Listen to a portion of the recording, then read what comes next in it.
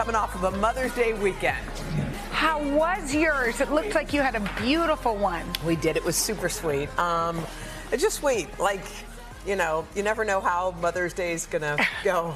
I'm just happy to be in it in the middle of it. Right? It was just sweet. It was That's, like, I feel like that's the way to to make it because it's like you have to have low expectations. You know, so you have low expectations, and then you're just grateful you get to enjoy it. yeah, it's a picture of my mom and the girls. But that wasn't this weekend, was it? No, but no, it wasn't. But, But, that's just a couple of pictures. I just wanted to get my mom in some Yeah. of the. That was this weekend. oh, Um, did really they make sweet. you those? They made those with their hands. That was the day, that first day that Haley uh, met Hope. Oh, how Right when cute Hope is came home. that? Such a sweet. It was uh, awesome. It was really beautiful. Tell me about yours. We traveled home. Okay. We were on an airplane, which at one point Henry was like, you know, like, is this not everything you've dreamed of?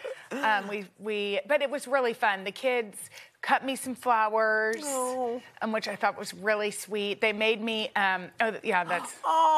Oh, and they made cards. Henry got me some Mexican food for dinner, which I loved. That's like and then Henry's like, "Who wants to say a toast for mommy?" And Mila's like, "Mm, "Happy Mother's Day, mommy." you know, nobody really wanted to, which is fine. What did Poppy do? Poppy, Poppy actually said a beautiful prayer. She was like, "The moment you were born." Changed my life, which is true.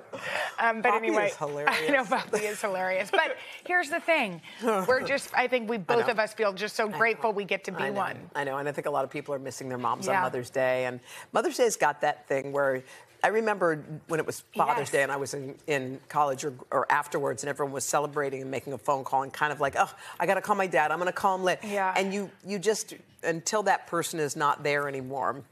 You know, you almost kind of take it for granted a little bit. Like, you don't realize the sting of it. Yeah, yeah, you're like- and probably the mothers that are wanting to be mothers and see everybody out yes, to brunch and yes, and seeing everyone with their kids Yeah. and the whole nine. It can be complicated, so maybe just find the Yes. joy in it.